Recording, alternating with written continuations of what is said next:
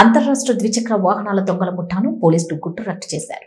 నిందితులను అదుపులోకి తీసుకుని విచారించి వారి వద్ద నుండి పన్నెండు బైకులు స్వాధీనపరుచుకున్నట్లు అల్లూరు సీతారామరాజు జిల్లా ఎస్పీ సతీష్ కుమార్ తెలిపారు. మంగళవారం ఆయన సమావేశంలో వివరాలు వెల్లడించారు.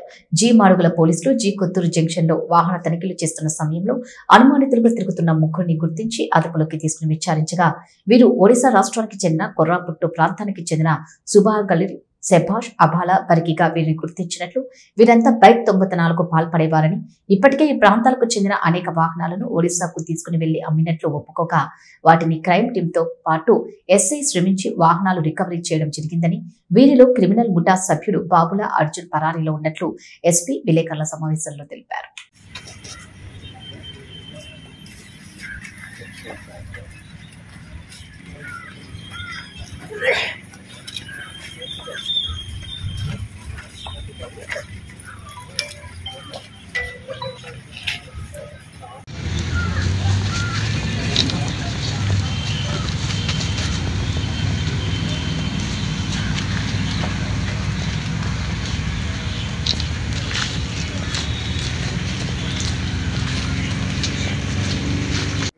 సో ఈరోజు మనకి మామూలుగా మన వెహికల్ చెకింగ్ మన G model G Kothuru junction దగ్గర ఎస్ఐ గారు వాళ్ళ సిబ్బందిలు వెహికల్ చెకింగ్ చేస్తున్నప్పుడు ఒక ముగ్గురు అనుమానాస్పదంగా వచ్చిన వాళ్ళని ఆపేసి కొన్ని ఎంక్వైరీ చేయడం జరిగింది. అంటే ఆ టైంలో వాళ్ళు ఎందుకు వస్తున్నారని చెప్పి.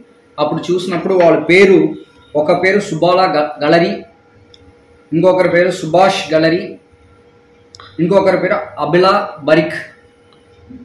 వీళ్ళు ముగ్గురు కూడా మనకి కొరాపుట్ డిస్ట్రిక్ట్ ఒరిస్సాకు చెందిన వాళ్ళు.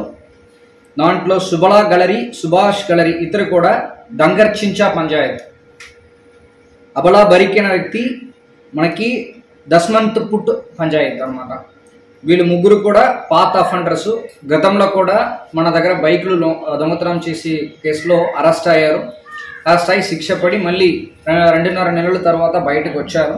వీళ్ళు మళ్ళీ మన లిమిట్స్లో దాదాపు పన్నెండు బైక్లు దొంగతనం జరి చేయడం జరిగింది. వాళ్ళు కన్ఫెషన్ చేసినది ఇప్పటి దాని ప్రకారం జీ మాడుగుల లిమిట్స్ మన లిమ్ మన జీ మాడుగులలో మూడు బైకులు వడ్డాది మాడుగుల మూడు బైక్లు అనకాపల్లి డిస్ట్రిక్ట్ మూడు బైకులు అనంతగిరి మండల్లో రెండు చింతపల్లి రెండు దుమ్రిగడ ఒకటి కసింకోట అనకాపల్లి ఒకటి. దాదాపు ట్వెల్వ్ బైక్స్ మనం రికవరీ చేయడం జరిగింది. వీళ్ళు ముగ్గురిని కూడా ఇప్పుడు అరెస్ట్ చేస్తున్నాము. అరెస్ట్ చేసి మనం ప్రొడ్యూస్ చేయబోతున్నాము. ఇది ఏంటంటే మన ఏజెన్సీ ప్రాంతం